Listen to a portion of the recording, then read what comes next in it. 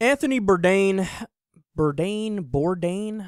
That sounded so weird when I said it, and I've said his name before. Anyway, uh, that guy, who of course hosts a CNN show where he travels around the world and learns different cultures and eats their food. He did an interview with Jorge Ramos on Fusion, and listen to the question that he was asked. This is interesting. Can you save CNN?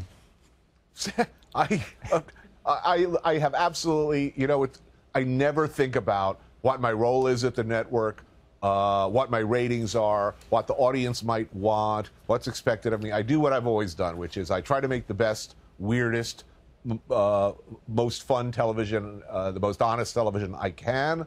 Uh, that I the, the, the best show I can make that I'll feel good about tomorrow. I try really hard that however much people may have liked last week's episode, that next week's episode episode will be different and even if it even disturbing and even unlikable. Uh, I, I I think though if you start thinking about you know your your ratings or what people want to expect, that's the road to madness. People who think about that too much start talking about themselves in the third person and and uh, you know uh, demanding novelty coffees. Uh, no. You know why he's being asked that question? Because whenever CNN needs filler shows, like during a holiday when nobody's working, what they do is they play reruns of Anthony Bourdain's new show. And the show does better than anything else does. It's a fucking travel slash food show that beats everything else. And the reason why I find this so interesting is that you can see how the mindset of Bourdain is superior compared to all of the other shitty CNN hosts. You know, just what he said, even at the end there, that little soundbite where he goes, Look, man, I don't really care about the ratings. I don't really care what people think. I'm just trying to do a show that's honest and real to me and that's interesting and can get strange. And that whole mindset right there is the reason why his show is so much better than anything Don Lemon has ever done. It's so much better than anything Erin Burnett has ever done. So much better than uh, you know, I'm shitting on everybody here. Anderson Cooper does terrible in the ratings. Like I know how everybody's, oh, Anderson Cooper, the gray-haired fox or whatever. I don't know. I've heard some people refer to him as that. Watch, it's like just my mom who refers to him as that. But like people look at Anderson Cooper, oh, the the face of respectable news. Yeah, yeah, that's nice. He got like 17 viewers last night. You know, CNN is getting destroyed in the ratings, and I can tell you why.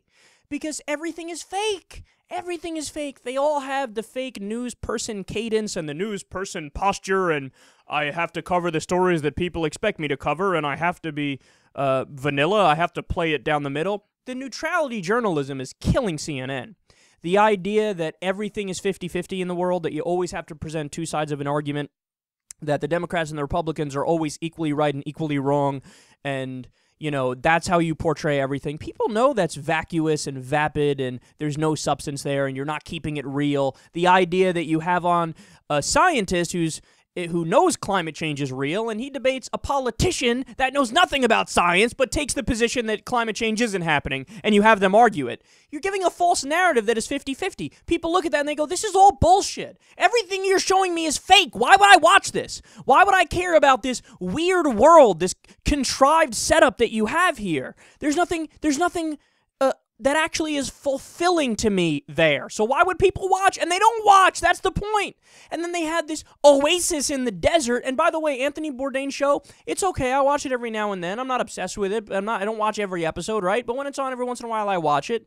And you realize the reason why it does so much better is he's the only person on there that's somewhat real. The only person there is like, yeah, you know, we fucking got hammered and uh, we went on a fishing boat and yada yada, whatever, just somewhat real. So people go, oh, okay, I like this more.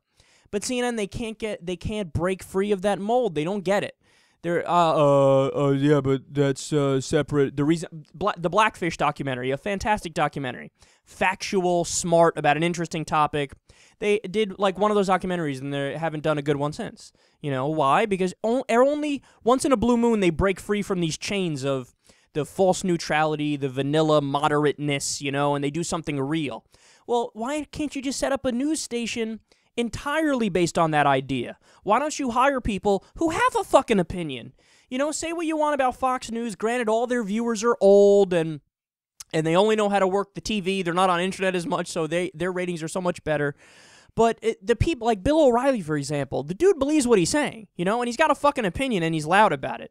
I disagree with him on everything, but he's number one in cable news. Why? Because he actually has a voice. He's not doing the fake, moderate, uh, let me try to please everybody. He's like, oh, these kids are destroying the country and man. And there's a market for that in old curmudgeon fucks. You know? Why can't you, as CNN, take that model, take the model of realness that Anthony Bourdain gives you some degree of, that all of new media gives you of, why can't you take that and apply it and say, fuck all the partisan garbage and playing a 50 50? We're going to tell you the truth. We're going to. I always said this and I'll keep saying it. What CNN needs to do, fire everybody, bring in the crew from Vice, and say, you guys take over everything. Take over everything. You have eh, carte blanche, do whatever you want. We're out of here. We'll come back in a year. And if the ratings are doubled, you can continue to do it. And I guarantee you it would work. I guarantee you it would work, but they're not going to do that. They're not going to do that because they don't want to get their advertisers mad. You know, they don't want to have an opinion and scare people. They don't want to get the politicians mad in Washington by being maybe, you know, keeping it too real and saying these Republicans are all bought and these Democrats are 80% bought. They don't want to do that, man. They don't want to do that. So continue to please the advertisers, continue to please the establishment, get horrible fucking ratings, and wonder, oh, can't we do any better? Why why has it gotten to the point that a fucking travel slash food show host is asked on another station, can you be the one to save CNN? How embarrassing is that? A guy who doesn't even take himself seriously, who doesn't even view himself as some sort of high-minded political news journalist, he's like, me save CNN? I don't know, what are you talking about? are they that fucking shitty? Yes, Anthony, they are.